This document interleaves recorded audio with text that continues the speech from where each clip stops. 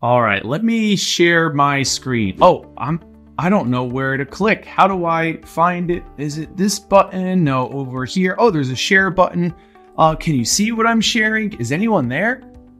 Have you ever had that issue before? You're just unsure exactly what to do when sharing your screen or presenting with Microsoft Teams? Well, luckily for you, I'm going to share some of my best tips and practices when working inside of Microsoft Teams and screen sharing from someone who does it every single day. Hey everyone, Jonathan Silva here, at Pragmatic Works. What we're going to be looking at is just simply what are some of the easiest tips and tricks around screen sharing in Microsoft Teams so that whenever you go ahead and lead that presentation next time, you know exactly where to go, where to click, and to make it as smooth of a presentation as possible. So first things first, as we take a look at our Teams call here. You could see that just a general Teams call. You could see how many people we have, all of the reactions. That's all great stuff. But let's take a look at how exactly to share my screen.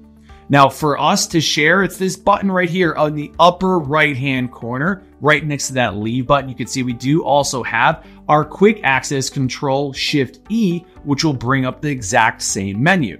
When you select share, what you get are two major options to share your screen or a window. The big difference between the two is what you're having the end user on the other side of that share be able to see when you make your clicks. Like, let's say, for instance, we want to share our screen. We can choose whichever screen we want depending upon how many monitors we're working with. And if we want to go ahead and, let's say, share the screen I'm currently on here, what it does is it gives you, as the presenter, the ability to show your user everything on that screen itself. So, all the background apps and icons and anything running and showing up on that screen itself will appear when you share, just like you can see here in my other monitor. This is exactly what we're looking at when I share my screen, the, the full screen itself. What we can also do is then if say I want to share a document or share something else, what I can do is go ahead and open whatever I want to share. Let's say I want to open up this Word document and I can share it just like that. Now, what you'll notice is on my screen, it looks pretty big. In fact, I can zoom a little bit and it looks pretty large. But on the screen I'm, that I'm sharing and what other people are seeing, it's still kind of small right? It's kind of difficult to be able to see. And a lot of that is just simply because of screen resolution differences. So, one of the things that I definitely recommend if you're going to be doing a lot of presenting just on your window right then and there is take a look at your screen resolution of your monitor. We can do that by simply doing a right click and then going to our display settings. And in your display settings, when you select whichever screen you're sharing at that time, you can come on down and you can look at the scaling. The scaling here, a lot of time you have 150 or 100% you're recommended. I would suggest going as high as possible when doing that so that you can have it really, really easy for that end user. So now if I were to go back and take a look at that Word document a little bit more, it looks really big for me, but it's also much easier to read for the other user who's actually seeing my screen that's being shared. So playing with that screen resolution is definitely a really easy, quick, on the fly option for you to do when working with screen share. And as you saw, it's just as easy to turn that back to what we had earlier. So you don't have to worry about having this super zoomed feel every time you're working with your machine. Now, not only is that going to be working for us, say in Microsoft Word, but let's say I went to Excel and I, have I was working here in Excel and I was just typing away and doing all of my things. Well, you'll notice because I have this zoomed in, it's definitely much easier to see for that end user. If I were to go back and change that resolution once more, and let's say I would go back to what I had earlier, which is 125%, a little bit less than the recommended, but I like this kind of feel for myself. If I were to take a look at that, say in Excel, look how much different that is compared to the size we had before. So again, screen resolution, definitely your friend here when helping out when sharing the full screen or sharing the full window. Now, when you are doing this, say, oh goodness, I want to move over to a different window. What you need to do is you need to go ahead and stop sharing to be able to move over. You can't just say, all right, I'm going to move everything over here. And now let's look over that, that other window. It just doesn't work that way. So you'll have to choose stop sharing. You can see I have it at the top here, this pop out that does appear for us. And then you'll get to go here and go share and choose the other one. And you'll get to go back and forth every time when you are doing your share from there. Now, the screen share is really great because it gives you pretty much total control over everything that's appearing on your screen, everyone else is seeing, but you do sometimes run into those issues of size and other things. Now, the other option we have is the window share. The window share allows you to choose a specific application to be able to share so that your users only seeing that, where you can have other things happening in the background and all they are seeing is that specific application. So let's say I came in here and I chose to, let's go back to that Word doc here. I can just choose the Word document itself. And as you can see, as the user who's like seeing the presentation, someone else in the meeting, I can only see the Word doc itself. Now, what I can do here as the presenter is I can actually move it, make it smaller here. And you'll notice is as I move it around, in the end, the other person seeing it that's in the call with me, they don't see any of that movement. They just see the same thing each time. In fact, what I can also do is I can make it a little bit smaller like this and have it fill in that screen. And this is where I can do some zoom only on the document itself and the user sees that nice big zoom. So it's something to play with here when you're presenting is think about the actual size of the window. It's going to fill up everything everyone else sees when you share your screen. So it is actually a best practice if you're choosing a specific window itself or an application, go ahead and make it small. Don't make it teeny tiny, but don't go full screen either. Make it a little bit smaller, and then you can allow them to see it much, much larger. What it also lets you do is if you ever have any meeting notes or anything on the side, you could have another option in your on your window itself. So let's say I'm presenting and I want to have some notes for myself during a really big presentation. I can have that over here on the side. And if you look on the other screen, when someone's looking at it, they're not seeing all those notes. They're just seeing what you're sharing. So it gives you, as the presenter, a little bit of a here's my bullet points I want to make sure I'm touching on during the presentation. I can have that on the side itself. Now, part of that is okay, well, what if I want to switch over? What if I want to see that Excel file rather than this Word document? Well, I can't just simply move it in front because I'm sharing that specific window. So you will have to stop sharing, go into your Teams call, stop sharing, and then choose the other window to share. So you have to select share, go to your window again, and then go to your Excel booklet, whatever it may be. You can see here for Excel, again, I have it pretty small. My user on the other end is seeing that, but I do have the ability to show only this and they can go ahead and see that really, really nicely inside of that meeting itself.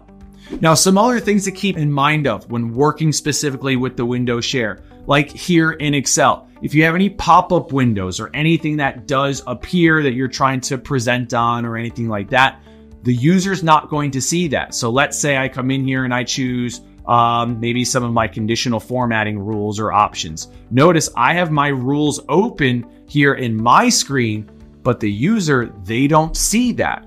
So we're only able to see the main window itself, the application that we're selecting, not anything else that's there. None of the layers come with it. So keep that in mind that if you want to be able to show the pop ups or extra things all at the same time, this just isn't the option for you. So you want to make sure that everything's working really, really well and kind of depending upon the type of presentation you have.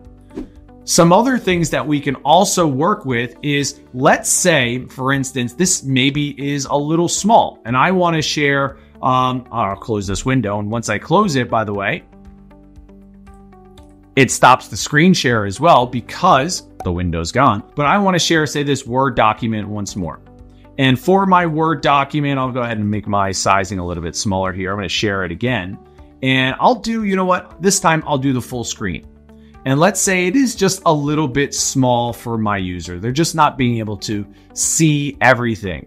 You can go ahead and zoom in on that. You can have it where you can use your magnifier, your Windows magnifier to help you out with that. So it just makes it a little bit easier to be able to see. And to use that magnifier, you're simply just going to hold down that Windows key and use the plus minus keys in your keyboard. So if I want to zoom in, I can go ahead and zoom in. Now, maybe I went a little bit too much there. You can kind of hold it down, see how you can play with that a little bit, zoom in and out with that that magnifier, and you can find the the you know the best way to okay, there it is. Now I'm super zoomed in on that one little area. Let me just zoom on out to get back to my full screen thing.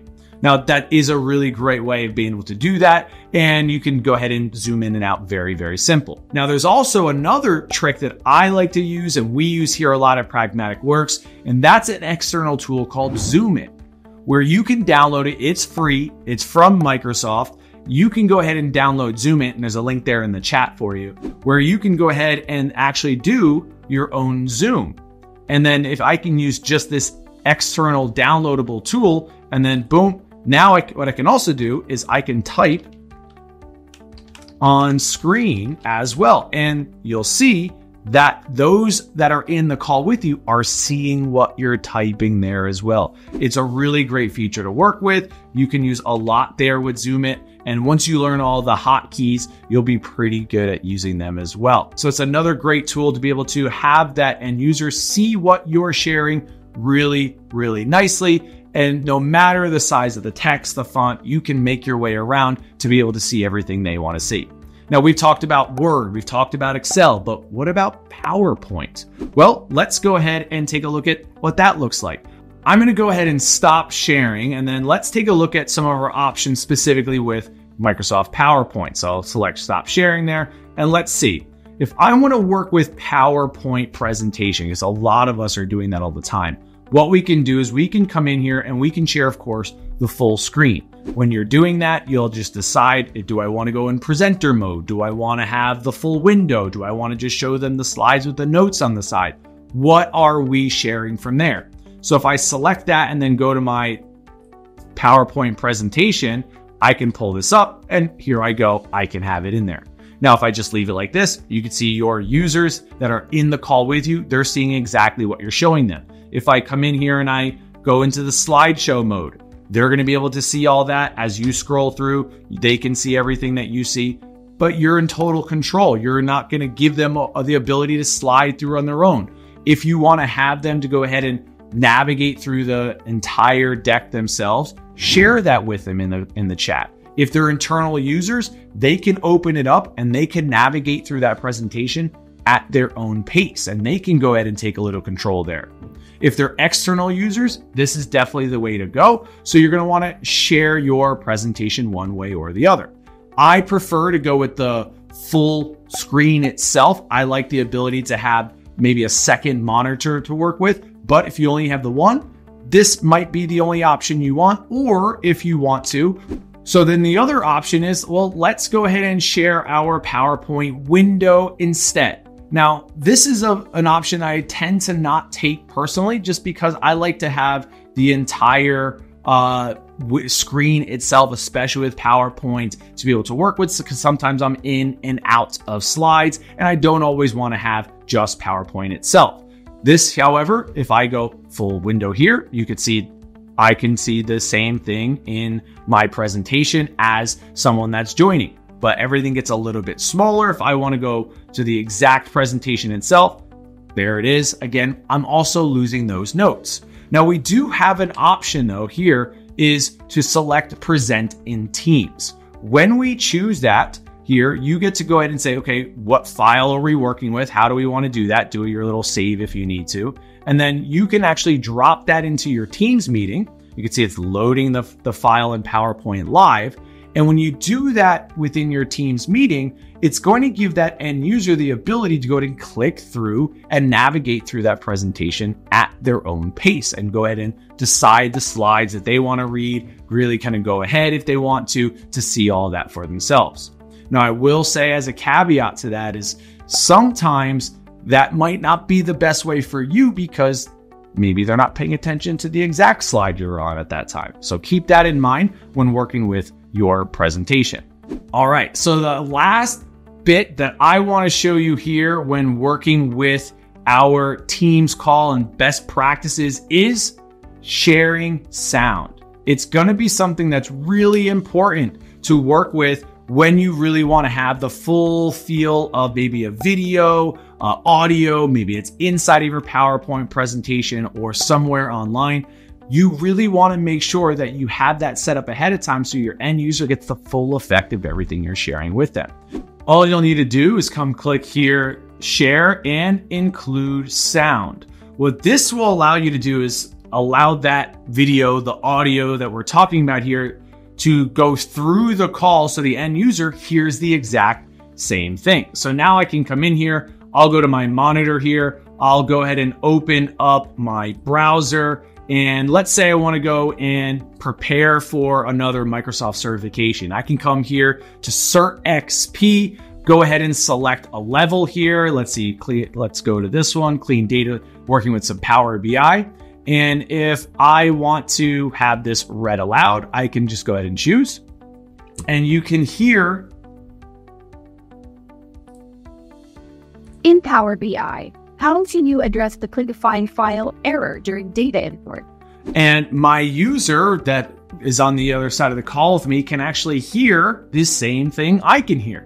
So videos play really well, audio plays really well. I can come in here and say, you know what? I think this one is if I can't couldn't find file, it's probably the location of the file. Let's see if that's correct. I can hit submit and I can even hear Look at that. Myself answering the question and making sure we have the proper support for getting that question correct. So it does give us the ability to have that sound come in really, really clear, just like you could hear, everyone else can hear the exact same thing. So that's going to make your life a lot easier when trying to flip back and forth, going through the ability to share that sound and everything else that comes with it. So it's a really, really great way to go ahead and, and have that directly done for us when we share the window itself. So, some of the big key features we talked about here is the difference between sharing your screen and sharing the window come in here, decide do I want to go to the full screen share or do I want to share the window itself? If I do the full screen share, make sure your resolution of that screen actually fits a good size. It's pretty zoomed in so your user can actually see everything nice and large. If you're choosing the window, keep in mind that you're not going to have the options for pop ups and you're going to have to flip back and forth a few times if you want to do that. But you also get to hide some of your notes on the side there. Also, think about some external tools like Zoomit to help you go ahead with your presentation so you can annotate, you can zoom in, you could put highlights on the screen as you are presenting so whoever is in the call with you sees exactly what you want them to see at the time. Thanks for hanging out with me. See you next time for more tips and tricks working around all of our Microsoft products.